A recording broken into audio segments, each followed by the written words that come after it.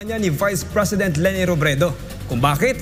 Ating alamin sa report ni MJ Mondihar Live. MJ, magandang gabi.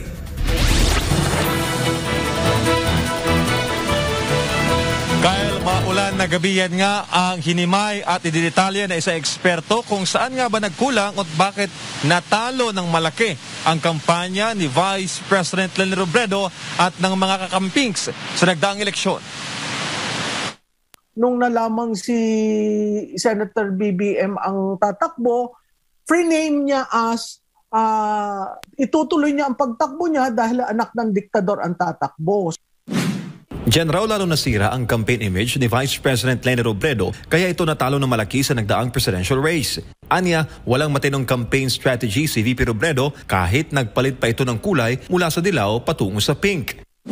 Na-package siya na parang nanay, na-package siya na paiba-iba, nandun na yung ah, yung Hadoken, nandun na yung ah, Miss Universe siya, na andun na rin yung ah, parang religious icon siya na ma- may makikita ka dong bata na hahawakan lang siya, nagsa-sign of the cross.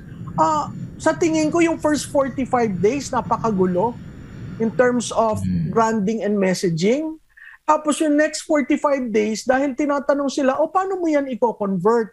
Sa tingin ko yun ang naging masama dahil ah, antagonizing sila sa mga botante.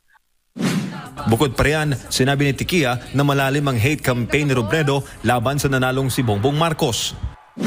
nakakita rin ako ng polyeto na ang ang harap e tungkol sa kanya, ang likod e puros negative kay BBM.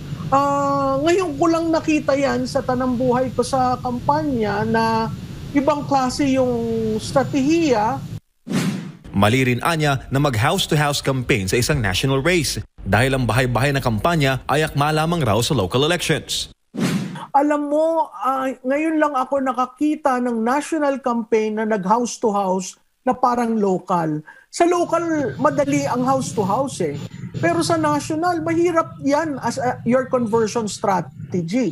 Pero yun ang ginawa nila.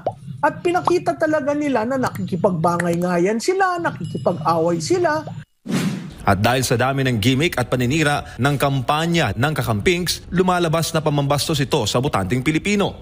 Lalo na't karamihan sa mga nangaaway sa social media at nang cancel ng mga supporter ng Unity Team ay mga pinklawan. Mo nakakalungkot yan. Kasi yung word na bobotantes, ah, nagsimula yan noong 2010. Okay? Ah, nakakalungkot dahil makikita mo na imbis na maging proud ka sa kandidato mo o respetuhin yung choice mo, ah, pilit nilang kinakalkal dun sa tao, bakit ka kay Marcos? Bakit ka kay ganito? Bakit ka kay ganito? Walang karapatan ang sino mang magtanong. Alam mo, ang kampanya, pinipresenta mo lang. Hindi mo tinatanong kanino ka, tapos bigla mong babanggain yung paniniwala ng tao. Kasi ang pagbodo sagrado eh. Kaya ngayong araw ay nagkausap sa telepono sina incoming President Bongbong Marcos at Japanese Prime Minister Fumio Kishida at indalakay ng dalawa ang mas malalim na pag-uugnayan ng paparating na administrasyon sa bansang Japan. Nitong uh, Huwebes ay nagkausap rin sa telepono sina BBM at si Singaporean President Jacob at inimbitahan ng Pangulo ng Singapore si BBM para sa isang state visit. Para sa Pilipinas kong mahal, balik sa iyo Kyle. Maraming salamat MJ Mondihar sa impormasyong iyong nahatid.